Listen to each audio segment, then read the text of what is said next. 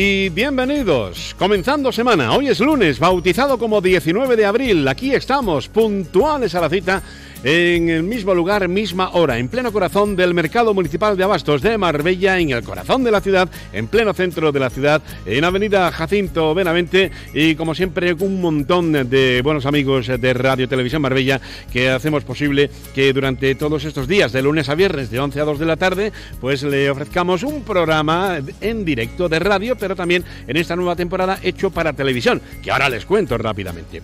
Prestos, dispuestos, listos y preparados. ¿Qué tal el fin de semana. Esperemos que bien, ¿no? Por lo menos dándonos eh, las nuevas notificaciones de algunos endurecimientos de restricciones de nuevo que vamos a tener desde la Junta de Andalucía en algunas de las provincias, pues que han vuelto otra vez al nivel 3 o al nivel 4.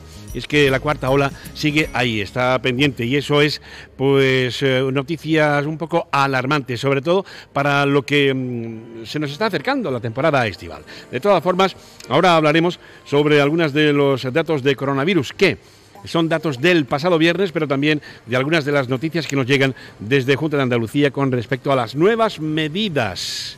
Entre ellas, en algunos eh, lugares, y se va a hacer oficial ya a partir del próximo 23 de abril, jueves, que de nuevo algunos de los establecimientos no esenciales vuelven a cerrar a las 8 de la tarde. Y en algunas provincias están ya cerrando a las 8 de la tarde. De nuevo volvemos otra vez con los repuntes de la cuarta ola, en definitiva, a la espera de las vacunas que llegan poco tarde.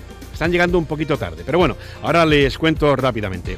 Aquí nos tienen, bienvenidos a media mañana en Radio Televisión Marbella 107.6 FM, de 11 a 2, comenzando semana y además con un montón de invitados e invitadas que ahora les iré refrescando la memoria, que irán pasando por el set en directo, que desde hace ya más de dos años le ofrecemos en directo desde el mercado municipal. Bueno, hoy es lunes, la cosa está tranquilita a esta hora de la mañana, los stands de las pescaderías están cerradas los lunes, no hay pescado, pero sí otros puestos que están en pleno rendimiento, frutas y verduras, las eh, tiendas de especias y condimentos y también, como no, las carnicerías.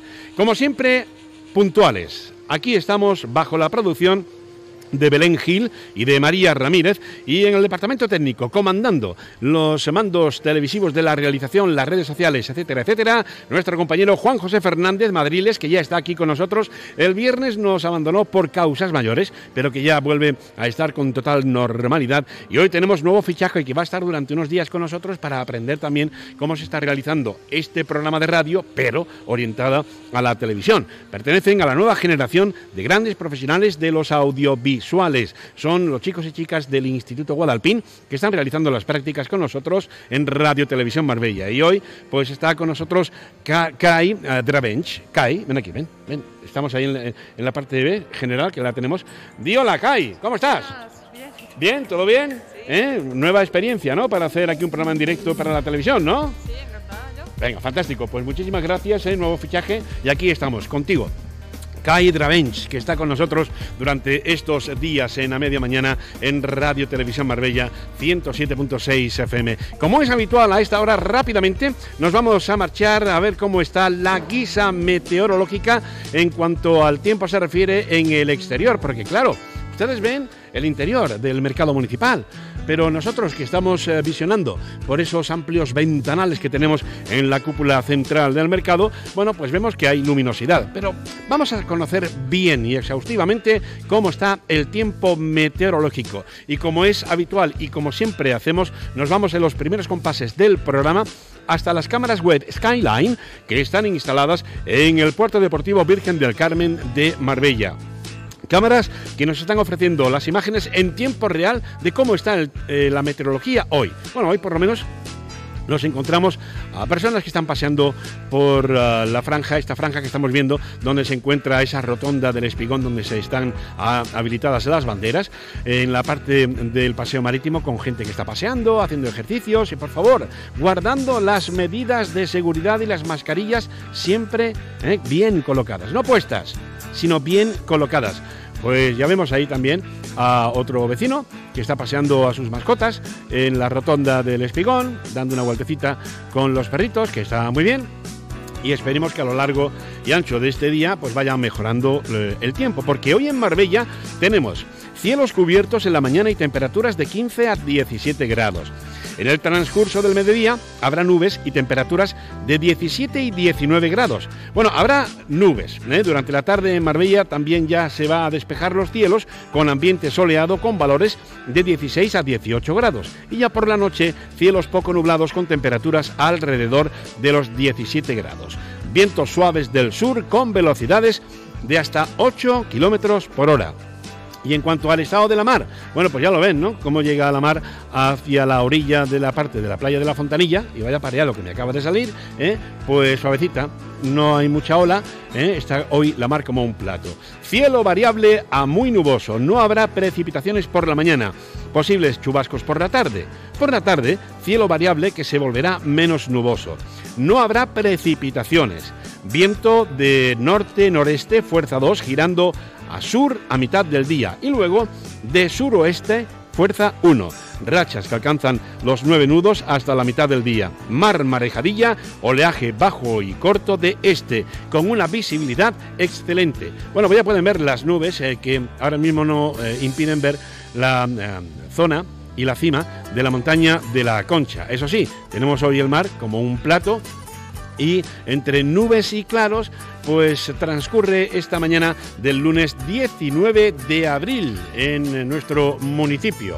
Bueno, pues eh, vamos a dejarlo ahí, ¿eh? vamos a desconectar con las cámaras Skyline que están instaladas en eh, el puerto deportivo Virgen del Carmen de Marbella. Ahí lo vamos a dejar porque tenemos también muchas más cosas importantes que contarles a esta hora de la mañana, al comienzo de a media mañana en Radio Televisión Marbella 107.6 FM. Verán, datos del coronavirus. Son datos recogidos y que llegaban a la redacción el pasado viernes. Ya estamos a la espera de ver cómo ha transcurrido este fin de semana con los datos de esta tarde lunes. Bien, Marbella notifica Marbella notifica 16 nuevos casos de coronavirus, aunque las correcciones hacen que la cifra suba hasta los 23 en casos de pruebas diagnósticas con PCR o test de antígenos algo que seguramente se debe a los ajustes de las cifras.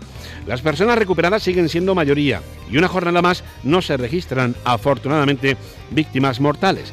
La tasa de incidencia, sin embargo, sube con respecto a ayer, aunque lo hace en menor proporción que en el resto de la provincia y en Andalucía. Eso en cuanto a los datos del coronavirus que nos llegaba a la redacción el pasado viernes por la tarde. Yo voy a ampliar esta notificación de todo lo que está ocurriendo este pasado fin de semana y que llegaba a todos los periódicos digitalizados en cuanto a nuevas restricciones que se endurecen en la comunidad autónoma. Andalucía encara una semana clave en la lucha contra la COVID. Mientras los mandatarios de la Junta denuncian el retraso de la llegada de vacunas y empiezan a ser cada vez menos los pueblos libres de coronavirus, la cuarta ola continúa creciendo y aumentan tanto los contagios de COVID como las hospitalizaciones. Atención, para frenar esta cuarta ola, la Junta de Andalucía ya mira a la reunión del Comité de Expertos fijada para el próximo miércoles 21 de abril, día en el que se tomarán importantes decisiones acerca de las medidas para contener los contagios. Cabe destacar que las últimas restricciones adoptadas por el Ejecutivo andaluz, consistentes en conservar las que ya se tenían añadiendo el cierre de negocios no esenciales a las 8 de la tarde en algunos casos, vence el próximo viernes 23 de abril por lo que esta semana se postula como clave para aumentar, mantener o relajar las medidas.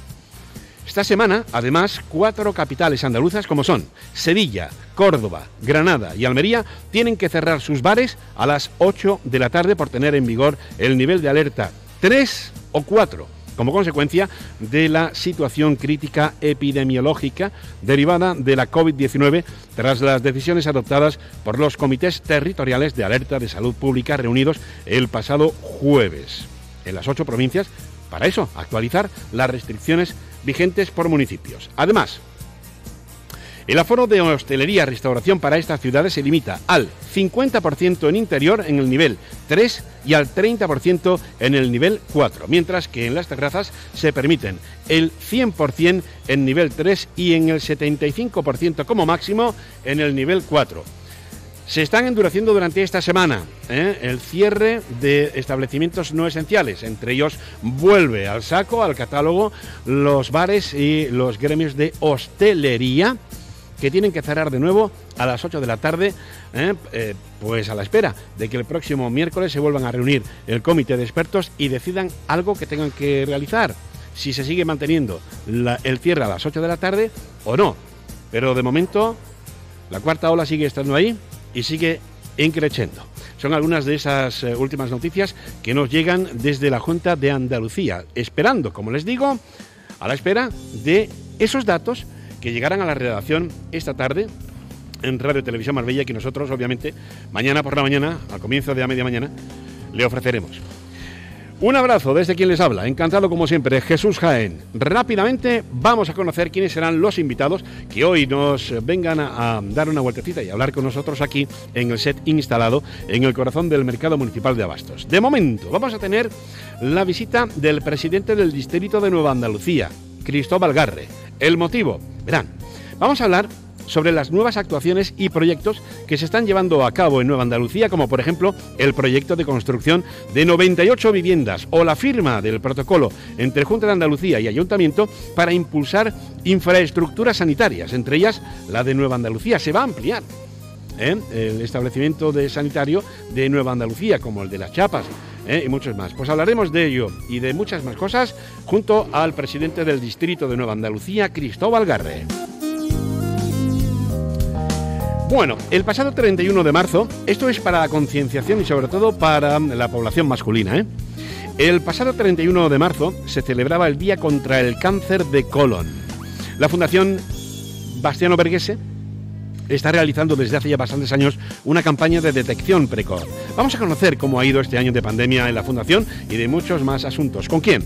Pues con el presidente de la Fundación, Bastiano Berguese, y eh, que es jefe del servicio digestivo del Hospital Quirón de Marbella. Hoy estará con nosotros el doctor Andrés Manuel Sánchez Cantos. Nuestra sección de APIMEN, la pequeña y mediana empresa de Marbella. Si hay una empresa o varias empresas que han tenido auge y que se han mantenido a lo largo y ancho de esta pandemia, por lo menos hablaremos con el gerente, ha sido las empresas dedicadas a la limpieza e higienización, ¿eh? higienización de higiene, vaya, ¿eh? en todos los oficinos, industrias y demás. Hoy vamos a tener la oportunidad de conocer a MCA Suministros con su gerente, Miguel Ángel Najarro.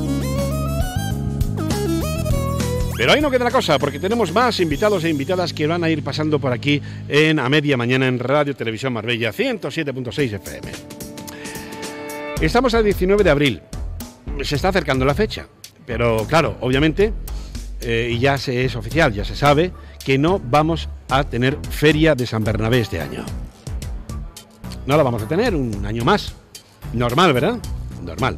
Bueno, pues hoy estarán con nosotros José Manuel Orozco y Pilar Pedrazuela, que son hermano mayor y secretaria respectivamente de la Hermandad de Romeros de San Bernabé. Van a venir a hablarnos de cómo ha sido este año para la Hermandad de Romeros del Santo Patrón y sobre todo de los cultos previstos en honor a San Bernabé para este 2021. No habrá feria, no habrá romería, no habrá pues procesión de San Bernabé, pero sí otros actos previstos eh, paralelos en honor al santo patrón. José Manuel Orozco y Pilar Piedrozuela están hoy con nosotros aquí en la media mañana. Hoy es lunes y como tal nuestra sección con eh, nuestro coach, Juan Navarrete. Miren, la envidia la envidia es una emoción dañina que solo conduce a la frustración y a la amargura. Sin embargo, también constituye una alerta de que ciertos aspectos de nuestro desarrollo personal necesitan ser trabajados. Hoy conoceremos algunos de los detalles de cómo desprendernos de algo tan terrible como la envidia. Podemos tener envidia sana, pero sigue siendo envidia. ¿eh? O la envidia, envidia pura y dura. ¿eh? Pues no, vamos a intentar ¿eh? Que desaparezca de nuestra vida ¿eh? y que podamos desprendernos de la envidia. Y por último, nos vamos a marchar montándonos en bicicleta. Les cuento, ¿eh? el grupo de amigos unidos a la afición de la bicicleta de montaña en los espacios naturales, La Vereita, llevan ya muchos años con nosotros. Realizan muchos eventos, muchos acontecimientos. Así que hoy nos visitan el presidente y vicepresidente, respectivamente, del Club Deportivo de Cicloturismo La Vereita, Miguel Ángel Ruiz y Salvador Fernández. Así que esos son los invitados que hoy tendremos aquí en a media mañana en Radio Televisión Marbella 107.6 FM. Hoy es 19 de abril y, verá, quiero contarles algo importante, porque hoy también se celebra un día mundial muy especial. Si les digo y les formulo la pregunta de cuál es la familia de dibujos animados más famosas de la historia de la televisión, automáticamente decimos Los Simpson. Pues sí, hoy 19 de abril se conmemora el Día Mundial de los Simpson. Verán, pocas series en la historia de televisión han logrado convertirse en un fenómeno global tal como lo hicieron los Simpson. La serie creada por Matt Groening cuenta las aventuras de una peculiar familia de clase media estadounidense que vive en la ciudad de Springfield. Homer, Marge, Lisa, Bart y Maggie conquistaron el corazón del público con sus divertidas vivencias y dejaron una huella imborrable. Bueno, tanto es así que son 32, que se dice pronto, ¿eh? 32 las temporadas que tiene el programa, pero eso no es todo. Además, lograron que se celebre el Día Mundial de los Simpsons cada 19 de abril y desde el año 2017, por cierto. No obstante, no muchos fanáticos saben exactamente por qué se ha escogido esa fecha para homenajearlos. Verán. Vamos a ver, mientras te cuento, las primeras imágenes del capítulo 0 de Los Simpson hace 32 años. Pues ¿por qué tomaron ese día? La respuesta es sencilla, porque un 19 de abril de 1987 los Simpson aparecieron por primera vez en la televisión y en el 2017 se cumplían exactamente 30 años de ese evento. Aquella presentación se había dado en una serie de cortos que no llevaban el nombre de la familia como título y que se pusieron y pudieron verse en el programa de Tracy Ullman, ¿eh? de Tracy Ullman Show de la cadena Fox. Lo curioso de estos mini clips como este, el capítulo 0 que estamos viendo, se relaciona a la apariencia de los personajes que nada tiene que ver con los de la serie original. Según se, eh, sabe, Matt Groening envió al canal unos facetos muy generales de la familia, pero para que después fueran retocados. Sin embargo, eso nunca ocurrió y salieron al aire tal y cual estaban dibujados. Pues así, de esta forma original, se presentaban los Simpson, que después de aparecer como clips, mini clips, en el show de Tracy Ullman, pues ya tuvieron su serie particular, ¿eh? una serie que ha dado la vuelta al mundo, que sigue dando la vuelta al mundo y que ahora Disney Plus, ¿eh? con la adquisición de los derechos y la venta, la compra de Fox, pues podemos ver los 32 años, las 32 temporadas íntegras de la familia Simpson. Por eso hoy, 19 de abril, se celebra el Día Mundial de esa familia tan peculiar de Springfield, de los Simpson. Bueno, y todo eso y más sazonado con una banda sonora, como siempre le decimos, un tanto peculiar. Una banda sonora la cual le elegimos con mucho mimo, Intentamos que sean apacibles para todos los gustos, todas las edades y todas las generaciones y sobre todo para que sirvan como banda sonora, ¿verdad? Para una mañana como esta, una mañana para la que tenemos que aprovechar y realizar todas las obligaciones pertinentes, los quehaceres de la casa, ir a la compra, hacer alguna tramitación burocrática en cualquiera de las entidades bancarias, en cualquiera de las oficinas, ¿verdad? Pues todo eso acompañado de esta banda sonora que ya les tenemos preparada y con la cual le vamos a dar los buenos días aquí en a media mañana en Radio Televisión Marbella 107.6 FM. Bienvenidos, aquí comenzamos a media mañana. Comenzando la semana desde el mercado municipal de 11 a 2 de la tarde en a media mañana en Radio Televisión Marbella 107.6 FM con este quien les habla. Encantado como siempre, Jesús Jaén. Yo siempre lo he comentado, que para un comunicador no hay nada más gratificante que salir a la calle para realizar un programa en directo, en la radio. Y si también es más para la televisión, mejor que mejor, porque así le invitamos a que usted puedan visitarnos, estemos aquí en el set del Mercado Municipal y vean cómo se hace un programa de radio, ¿verdad?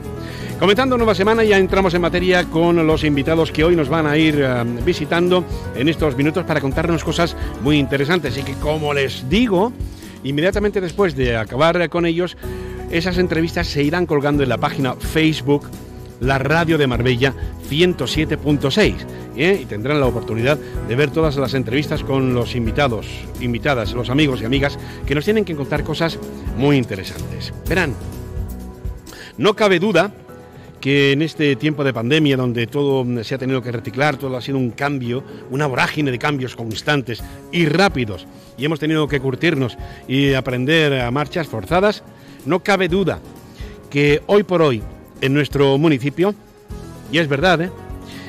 el urbanismo es el sector que mantiene la actividad económica en la zona en estos momentos. Sí o sí. Es así. Porque con estas restricciones y además con ese endurecimiento, ya se lo comentaba antes, ¿no? Eh, que hemos eh, recibido desde la Junta de Andalucía por la cuarta ola, y es que no hay más, y ya lo volvemos a reiterar y volvemos a repetir, ¿eh? Somos nosotros mismos quien tenemos que cuidarnos. Nadie nos va a cuidar salvo nosotros mismos. Y somos los únicos que podemos reducir o impedir que venga la cuarta ola. Ya hay muchas provincias en Andalucía que desde el pasado fin de semana sus establecimientos no esenciales, en este caso bares y zonas de hostelerías, han tenido que volver a cerrar a las 8 de la tarde. El próximo miércoles se reúne de nuevo el comité de expertos y tendremos la comparecencia del presidente de la Junta de Andalucía, Juanma Moreno. Veremos a ver si no vamos a tener más restricciones todavía. Yo no quiero pensar eh, que volvamos otra vez eh, a bajar del nivel donde estamos ahora, del nivel 2, al nivel 3 o al nivel 4, donde hay muchas provincias que, bueno, pues han tenido que bajar eh, en marchas forzadas. Así que mucha precaución. Y por eso les digo lo del urbanismo, que es ahora mismo el sector que mantiene la actividad, menos mal, que mantiene la actividad en la zona en estos momentos. Les cuento esto porque en días eh, anteriores la Junta de Andalucía, eh, la Junta, perdón, la Junta de Gobierno local, ahora hablaremos también de la Junta de Andalucía. La Junta de Gobierno local aprobaba, entre otros asuntos, un proyecto de 98 viviendas en Nueva Andalucía afortunadamente ya tenemos más viviendas para construir, para más familias ¿no? que puedan acceder a una, a una vivienda. Entre esos asuntos y otros más que tengo aquí sobre la cartera, tenemos la presencia del presidente del Distrito de Nueva Andalucía, Cristóbal Garre, que ya está con nosotros para hablarnos de eso y de mucho más. Cristóbal, bienvenido. Muchísimas gracias por la invitación. ¿Cómo estás? Bueno, estupendamente. Bien, ¿no? De lunes, pero sin parar y muy concentrado en el trabajo que es lo que nos nos lleva cada día a despertarnos con mucha ganas. Y con datos, otra vez que nos llegan desde la Junta de Andalucía, con la cuarta ola y con y que no hacemos caso, ¿eh?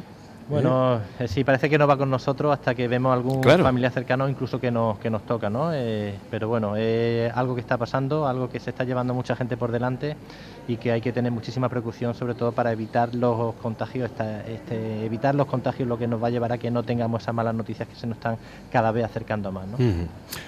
Ya lo comentaba, ¿no? Eh, ¿Tú crees que el, urbanismo ahora mismo es el sector que mantiene la actividad económica en la zona? Bueno, sin duda, eh, eh, los datos lo están dando, ¿no? Si nosotros venimos analizando los datos desde el inicio de la pandemia de lo que es el empleo, por poneros un caso, el único sector que no ha caído a nivel de empleabilidad es el sector de construcción. Entonces esto es evidente. Esta mañana las noticias que vamos viendo de los distintos periódicos, La Opinión de Málaga hace referencia a las inversiones que se están desarrollando en Marbella en cinco hoteles de gran lujo y estamos hablando de mil millones de euros de inversiones, que es lo que a futuro también va a mantener el empleo aquí en, hmm. la ciudad. Ten en cuenta que Marbella pues da empleo para la, prácticamente la construcción de toda la, eh, todo lo que es el sector empleable de construcción de la, de la Costa del Sol, incluso de muchos de los municipios de interior ¿no? de la provincia de Málaga. Hmm. Y no tiene nada más que verlo en los coches que entran a Málaga a, Marbella a las 7 de la mañana y los coches que salen de Marbella a las 6 de la tarde. ¿no? Es decir, que en el, horario de trabajo eh, mucha gente viene de fuera, trabaja y se marcha. Por eso es el gran reto que tenemos desde el ayuntamiento de ese portal de empleo que funcione porque así se nos contratan a empadronados en la ciudad y por lo menos evitamos también esos desplazamientos. Ahora hablaremos precisamente de la utilización de la buena herramienta del portal de empleo eh, que estáis realizando desde el Ayuntamiento de Marbella. Eh, hace unos días la Junta de Gobierno local, como comentaba, eh, aprobaba entre otros asuntos precisamente ese proyecto de 98 viviendas en Nueva Andalucía. Bueno, Nueva Andalucía tiene, digamos, la expansión más grande que se está desarrollando en Marbella a día de hoy. Muchas de las eh, nuevas viviendas que se están desarrollando en la ciudad se están dando en, mayormente en la campana, ¿no? Hay muchos proyectos allí, tenemos, o hay constructores como eh, Amenábar Construcciones, Piomar, decía, hay muchos focos puestos allí en aquella zona. De hecho, las previsiones con las que estamos manejando y con las que nos vincula todo el proyecto de, ciudad que tenemos allí, en este, en concreto en el distrito de, la, de Nueva Andalucía, va enfocado por ahí. Es decir, nosotros tenemos de partida una eh, población de 18.000 habitantes que preveemos que en los próximos cinco años suba a 28.000 habitantes. Es decir, la, la expansión del distrito más amplio que se desarrolla en los cinco distritos de Marbella viene a ser en Nueva Andalucía y de hecho ahí tienes que eh, todos los datos de las licencias nuevas que se están otorgando y el número de viviendas que se están poniendo, con lo cual toda la inversión que preveemos en equipamiento estamos reforzándola allí, ya no solo la que nos corresponde ayuntamiento, como pues son zonas deportivas o palacios eh, de eventos, sino también incluso en instarle a las administraciones públicas, en este caso Junta Andalucía, pues que ese centro de salud o que tenemos, o ese consultorio que tenemos, que se convierta en un centro de salud real, porque tenemos muchos atrasos también a nivel de otras inversiones de otras administraciones, como pues en este caso es Junta Andalucía con ese centro de salud que tanto se necesita allí en la campana. Hablaremos también ¿eh? del nuevo centro de salud, o por lo menos de la ampliación de las instalaciones del centro de salud. ¿no? Algo es algo. Sí, sí. ¿eh? Algo es algo. 28.000 personas, vecinos, eh, que pueden en pocos meses ampliar, aglutinar en un distrito como Nueva Andalucía, un distrito muy especial en nuestro municipio porque aglutina eh, una gran multiculturalidad. En Marbella se, puede ver y reflejar que Nueva Andalucía es el escaparate de las más de 140 y pico culturas que viven con nosotros. ¿no? Pues mira, creo recordar que eran 163 nacionalidades distintas. Ya son 163. 163 lo que estaba registrado que vivían en Marbella. Prácticamente todas están residiendo en Nueva Andalucía. Nueva Andalucía. Nueva Andalucía tiene para mí el, distrito con mayor reto por cuanto tiene distintos ámbitos, es decir, está desde el mayor número de marcas de lujo que tiene el mundo, está situado en Puerto Banú, eh, junto con otras zonas muy turísticas, pero desde ese lujo que tiene en Puerto Banú, el mayor número de ventas de Ferrari por, eh, digamos, por habitante también se da en Marbella, en esta zona concreta de Nueva Andalucía. El mayor número de botellas de champán rosado que se venden de cierta marca a nivel mundial también se da aquí en, en la zona de Puerto Banú y la zona de, Nueva Andalucía. De Nueva Andalucía. Y también tiene muchas desigualdades como son pues, zonas donde tenemos que actuar con, eh, formatos de innovación social para intentar compensar estas realidades. Tenemos eh, siete zonas dividido el distrito, donde está Puerto Banú, está la zona urbanizaciones sur, urbanizaciones norte, este, oeste. Tenemos la zona de la Campana, la zona del Ángel, la zona de Aloa, la zona de eh, bueno, toda la zona donde tenemos a la Dama de Noche eh, y bueno, ciertas zonas que hemos tenido que desglosar a su vez en pequeñas zonas de actuación porque es un ámbito, como te digo, muy muy dispar y donde hay urbanizaciones que prácticamente con macrocomunidades se las mantienen ellos y tenemos que apoyar, eh, sobre todo en agilizar licencias y con convenio y sin embargo en otras zonas pues sí que tenemos que actuar nosotros como ya era responsabilidad porque hay zonas que eh, alrededor de lo que es el hotel Andalucía Plaza por ejemplo llevan 40 años sin arreglarse toda esa zona y lo aceras pues imagínate cómo son de aquella época y, totalmente deteriorado. Es decir plan de urbanizaciones para nosotros es muy muy clave y lo ha sido así desde hace tres años para acá en Nueva Andalucía lo pusimos en marcha con más de un millón de euros se viene manteniendo y ahora mismo estamos en muchas de las obras en ese ritmo y bueno para nosotros es clave que podamos modernizar lo que es el Distrito de Nueva Andalucía a través de ese plan de urbanización. El Distrito de Nueva Andalucía, que se caracteriza, entre otras, por ser grandes estandartes en cuanto a los símbolos del turismo de calidad y no incluso de calidad también, ¿eh? que nos llega y nos visita a Marbella. En Nueva Andalucía está concentrado la mayor, mayor cantidad de campos de golf.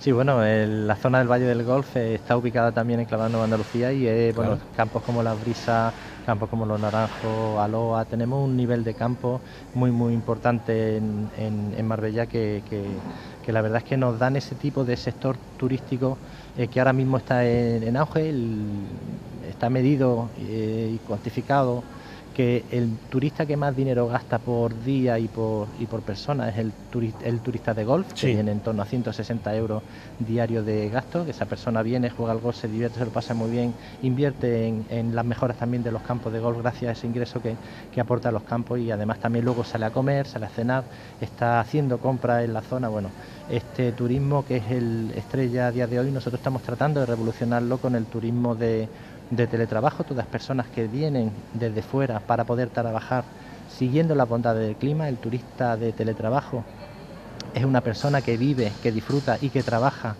en formato online desde una zona donde tenga calidad de vida. Eso es lo que estamos tratando de vender porque este turista eh, rebasa en mucho los 160 euros mensuales que gasta un turista de, de golf como son unos 240 euros más o menos lo que está estimado que gasta esta persona diaria, con lo cual tratamos ya no solo de, afianzar este tipo de turismo, sino irnos a un paso más y traer ese turista que viene a gastar mucho más de lo que gasta por persona. Es decir, Marbella no debe estar masificada, debe estar eh, en, principio con, ese turista que, que sale, que gasta y que invierte en que los negocios den al final la calidad que todos esperamos, porque al final esto es juego de todo y entre todos pues mm. tenemos que tener que ese tipo de turista venga, que es un turismo responsable, que es un turismo eh, sostenible y que nos permita tener esa ciudad con mejor calidad de aire de, de España, que es lo que vamos buscando. ¿no? Eh, Cristóbal, el distrito de Nueva Andalucía se caracteriza, y lo estamos hablando, ¿verdad?, sobre la disparidad en cuanto a costumbres y tradiciones, ¿no? De hecho, pues se concentran el mayor número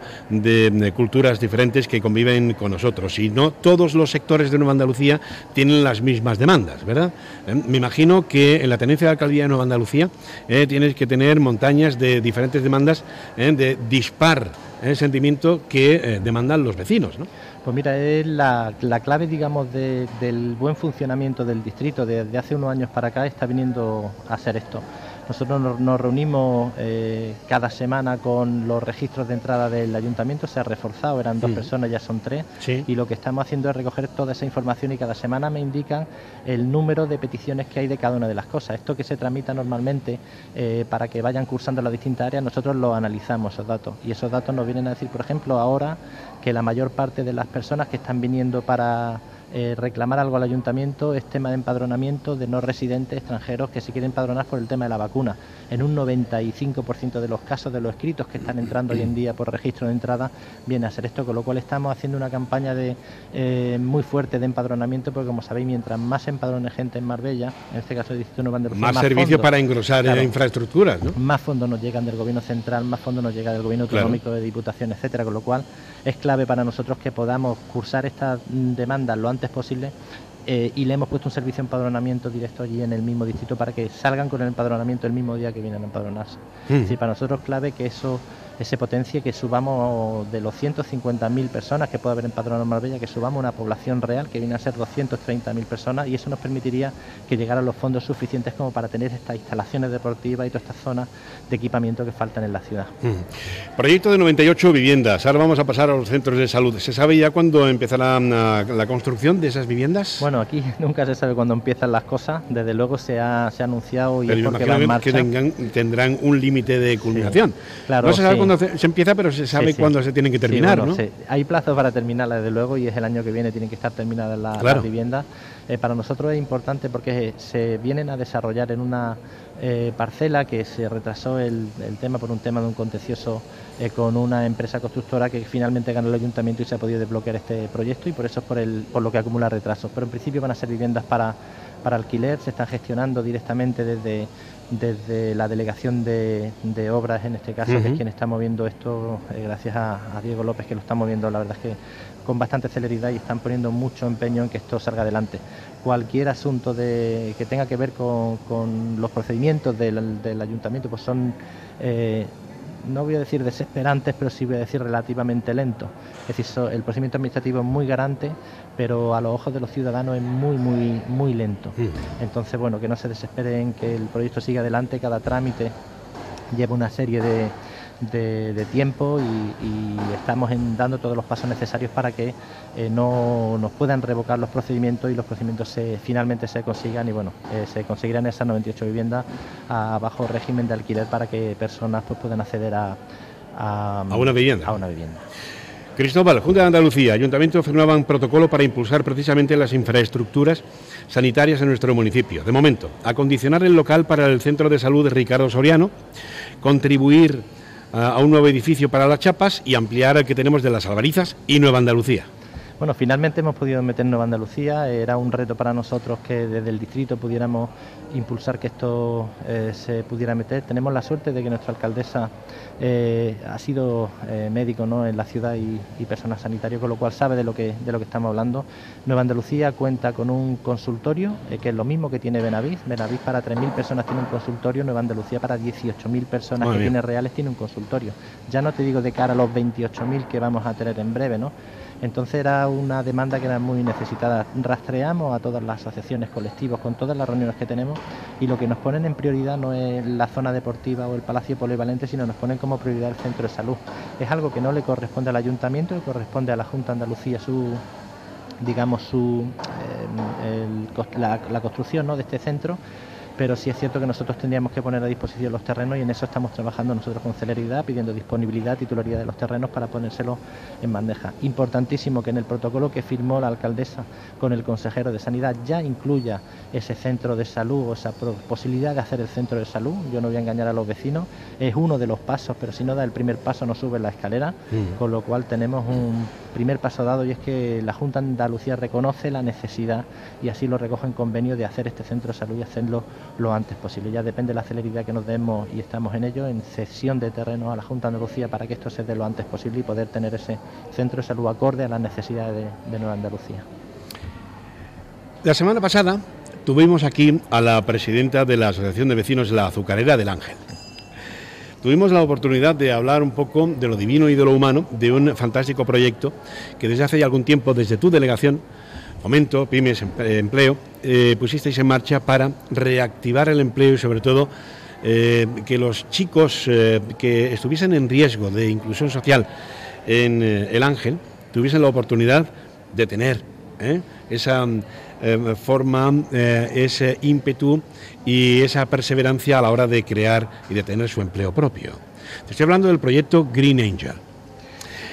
hace poco disteis los diplomas ha sido un proyecto que prácticamente mm, lo tenéis desde la delegación como, una, como un bebé vuestro, ¿no? Como una criatura, ¿no?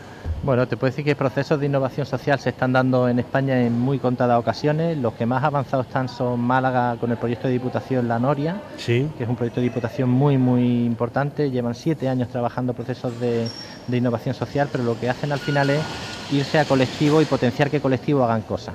Nosotros estamos haciendo eso también, lo que hemos hecho ha sido potenciar proyectos propios, esos proyectos propios los deberían liderar también las administraciones como hemos hecho nosotros en este caso, y esto viene a raíz de hace tres años cuando nos sentamos con los colectivos, en este caso, bueno, di un paseo por el Ángel para ver qué es lo que necesitaban allí. Los colectivos como la azucarera pues me dijeron necesitamos que se arregle esto, que se las casas, que la pintura, que la, los jardines, etcétera, pero me senté con los chavales que estaban allí sentados en, en un escalón y vosotros qué necesitáis? Y me dijeron, y yo campeón, yo lo que necesito es un trabajo. O sea, ponte como quieras, mm, haz lo que quieras, pero a mí dame trabajo. El trabajo a este tipo de jóvenes que tienen mucha creatividad, pero les falta un nivel importante de, de formación, es sentarlo y hacerle formación.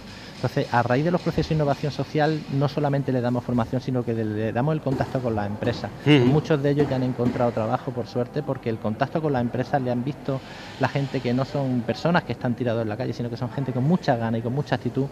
Y gracias a este proceso de innovación social también se han podido llevar un, un poco de dinero a sus casas, que de verdad hay casas que yo he visitado y que son auténticos dramas. O sea, familias con un eh, en torno a 10, 15 personas dentro de una vivienda y con un yogur en la nevera. O sea, esto se Madre está mía. dando. Y, y, estos procesos les permiten a los chavales, digamos, echarse para adelante, llevar a, a, su entorno familiar también algo de dinero que ya digo que es representativo, representativo no es mucho, pues son una dieta de desplazamiento, un, unos importes que asume en este caso en la Fundación La Caixa, que la verdad es que se ha portado muy muy bien con, con, este proyecto Green Angel y bueno, y estamos implicando más empresas como en este caso Hidralia, que también nos va a aportar ahora. Hay que hablar fase. contigo sobre el nuevo sí. proyecto, ¿no? Con Hidralia, ¿no? Bueno, pues sí, tenemos mucha ilusión. Hidralia se añade al proyecto Green Angel en la tercera fase. Eh, la primera fase fue una fase de motivación coaching para que ellos pudieran o aprendieran a montar su empresa y tener esas relaciones con empresas. La segunda fase fue sacarle los títulos de jardinería, de aplicador de productos fitosanitarios y de prevención de riesgos laborales y esos son los títulos que dimos y esta tercera fase le incluye que Hidralia ponga todos los materiales para arreglar esas piscinas y que ese entorno del ángel, lo que es el jardín botánico, vuelva a florecer. Ten en cuenta que ellos si son los mismos, eh, las mismas personas que viven en la zona, los que están arreglando y cuidando el entorno, pues eh, ese apoyo es muy muy importante ya no solo de los chavales, sino de la mm. comunidad educativa, de las asociaciones que están trabajando en la zona como Horizonte, como la asociación eh, que rige allí lo que es la comunidad de vecinos eh, la azucarera del Ángel y bueno, y la verdad es que todos esos apoyos son importantísimos, el apoyo de la empresa, por supuesto que también, y ahí en este caso la Fundación La Caixa lo está haciendo muy bien, lleva puesto más de 45.000 euros para que el entorno se vaya mejorando,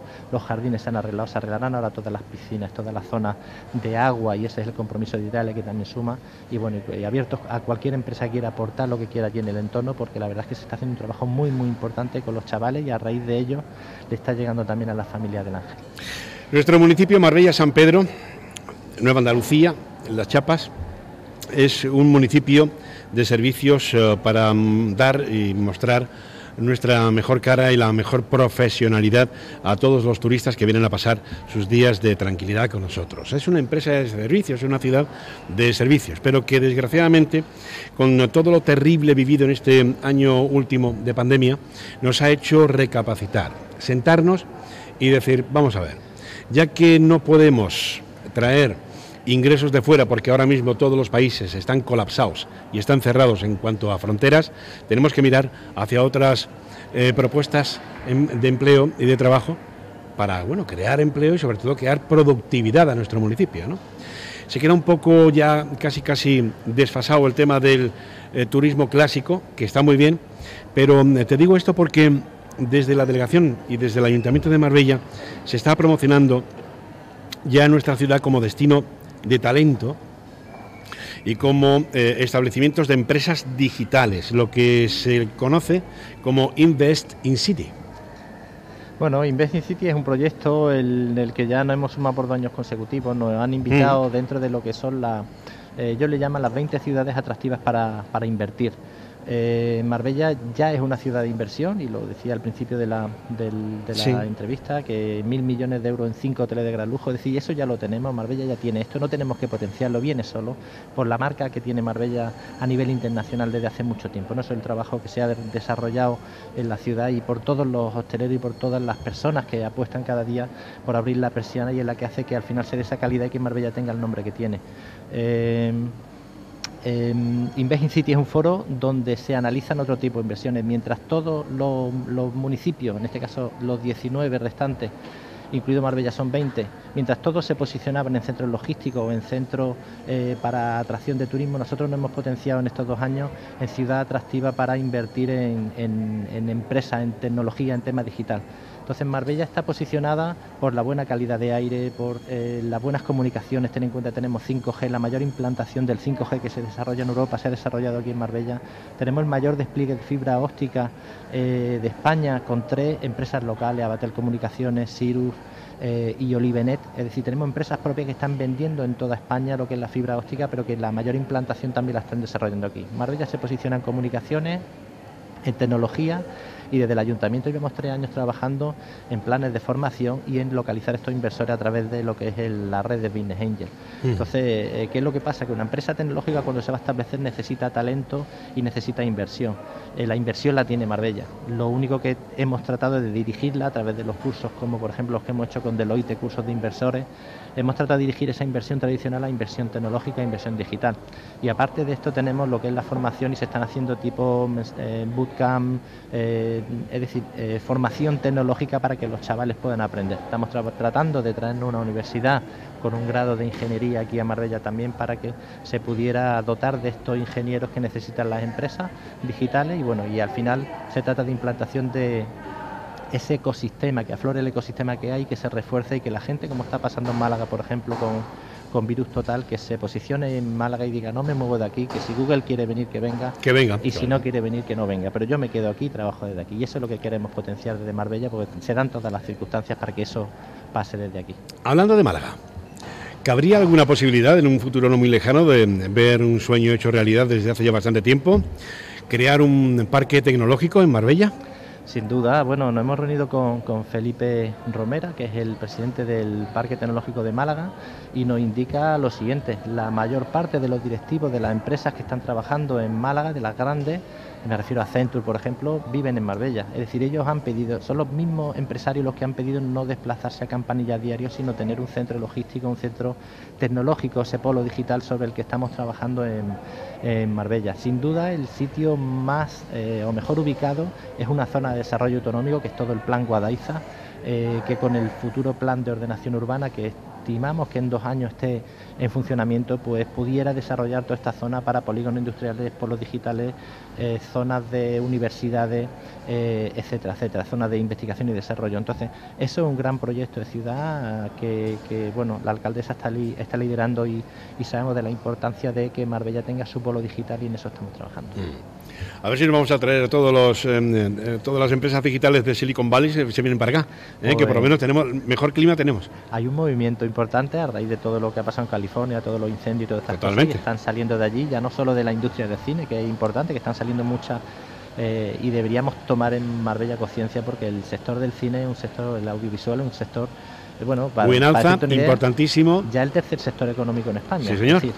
con lo cual es algo al que hay que potenciar y ahí tenemos unas líneas también importantes con EDUSI, eh, que hemos eh, lideramos el, movimiento de 988.000 euros de esos 15 millones, lo lideramos para temas de creatividad y una parte va en videojuegos, otra parte en cine y otra parte en gastronomía. Entonces estamos trabajando también en esa línea que creo que es de importancia futuro para, la, para las Qué bueno.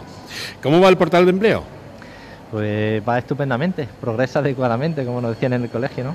Bueno, lo convertimos en agencia municipal de intermediación que nos permite, digamos, sacarle a las empresas perfiles y te puedo decir que hay empresas eh, muy interesadas en el portal y que están apostando por él, cogiendo empadronados, porque ese portal, como sabéis, pues filtra los perfiles por los empadronados, dan prioridad a los empadronados y te puedo decir que empresas como MediaMar, que ya abren esta semana eh, el jueves creo que es cuando hacen la apertura, MediaMark, eh, te digo también, por ejemplo, Primark, es una mm. empresa em, eh, también como por ejemplo Starlight, están haciendo los procesos de selección a través de un portal que antes era una herramienta donde de 3.000, 4.000 perfiles pues podían revisar a quién contratar y ahora mismo es el mismo portal con los técnicos del ayuntamiento quien le filtra y le da los tres o cuatro perfiles más idóneos para cada puesto, con lo cual ahora mismo sí es una herramienta útil para la empresa y ese proceso permite que las empresas contraten a empadronados de la ciudad, con lo cual el que no esté de alta ahí, recomendarle que se dé de alta que, se dé de alta eh, y sobre que contraten de aquí. Y el gran requisito que estén empadronados, sí o sí.